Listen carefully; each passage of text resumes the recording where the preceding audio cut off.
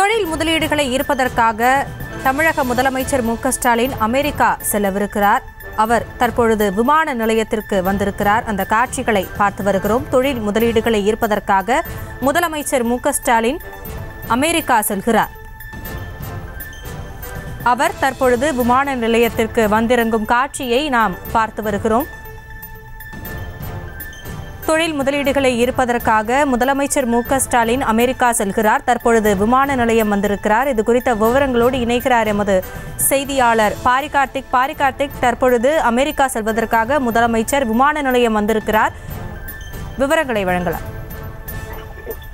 வணக்கம். தமிழ்நாடு முதலமைச்சர் திரு மு ஸ்டாலின் அவர்கள் தற்போது தொழில் முதலீடுகளை ஈர்ப்பதற்காக அமெரிக்கா பயணம் மேற்கொள்ள இருக்கிறார். இன்று இரவு அதற்காக தற்போது சென்னை விமான நிலையம் வந்திருக்கிறார். தமிழ்நாட்டிற்கு சர்வதேச முதலீடுகளை ஈர்க்க முதலமைச்சர் அவர்கள் இன்று இரவு அமெரிக்கா செல்ல உள்ளார் இந்த பயணத்தின் போது உலகின் முன்னணி தொழில் நிறுவனங்களில் பிரதிநிதிகளை சந்தித்து பல புரிந்துணர்வு ஒப்பந்தங்கள் கையெழுத்தாகும் என்றும் எதிர்பார்க்கப்படுகிறது. இந்த நிலையில்தான் தற்போது இன்று இரவு முதலமைச்சர் அவர்கள் அமெரிக்கா செல்ல இருக்கிறார்.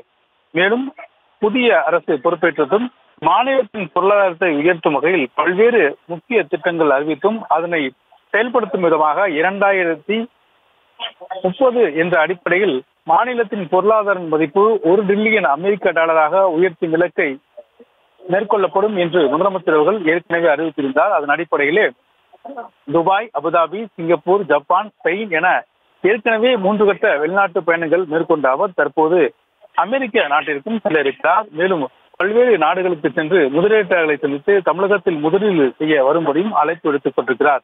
அதன் தொடர்ச்சியாக தான் தற்போது உலக நாடுகளின் முன்னணி நிறுவனங்களை சந்தித்து சர்வதேச அளவில் தமிழ்நாட்டிற்கு முதலீட்டை கொண்டு வரும் முதலீட்டை கொண்டு வரும் ஒரு அடிப்படையில் தற்போது முதலமைச்சர் அவர்கள் அமெரிக்கா செல்லளிக்கிறார் இதன் அடிப்படையில் இன்று இரவு செல்லும் அவர் கிட்டத்தட்ட பதினேழு நாட்கள் அரசுமுறை பயணம் மேற்கொள்ள இருக்கிறார். அவருக்கு அமெரிக்காவால் தமிழர்களும் பிரம்மாண்ட வரவேற்பு செய்யப்பட இருக்கிறார்கள்.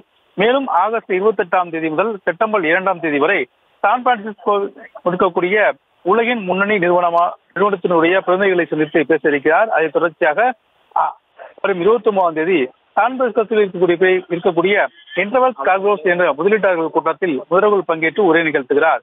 மேலும் தமிழகத்தை பொறுத்தவரைக்கும் ஏற்கனவே நடந்து முடிந்த தேர்தலில் வெற்றி பெற்ற பிறகு தொடர்ச்சியாக மூன்று முறை முதலமைச்சர் வெளிநாடு சென்றிருக்கிறார். செய்திகளை உடனுக்குடனும் துல்லியமாகவும் தெரிந்து கொள்ள சப்ஸ்கிரைப் பண்ணுங்க.